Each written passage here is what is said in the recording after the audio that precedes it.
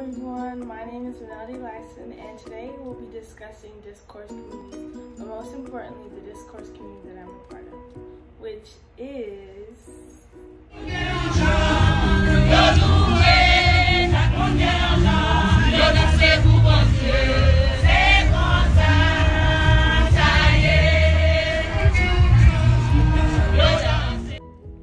Haven't guessed it already, the discourse community that I'm a part of is a lively and predominantly Haitian church, Jésus Miak.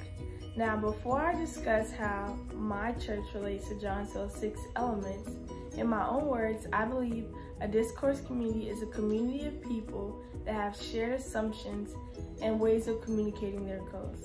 Now, let's discuss how my community relates to John 6 elements. So, at Miak Church, I am a youth member of the congregation, a former dancer on the praise team, and now an active participant at our youth Sunday school Bible study. For about three to four times a week, youth members meet up at the church to participate in different activities like Bible club, praise team rehearsal, choir rehearsal, set events on Saturdays, and Sunday school lessons.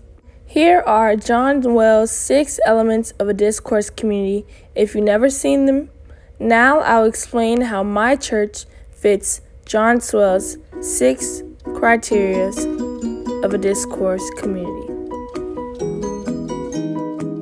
So, as a church and a community, Jésus Miak's main goal is to promote the kingdom of God and bring people to Christ by being the head and not the tail simply being a great example for non believers to transition and devote their life to Christ and strengthen their faith in Him daily. In terms of communication, we would speak to each other face to face at church, where all announcements were made on Sunday towards the end of the service. Anything not stated in the service, you could simply contact the pastor by speaking to her in her office or calling her or you could just check out our church's Facebook page. And if it's really important and you can't get in contact with our pastor, you can simply speak to any high official in the church and they would be able to help. Our face to face meetings and Facebook platforms serve to provide valuable information to our members and share memories of different services.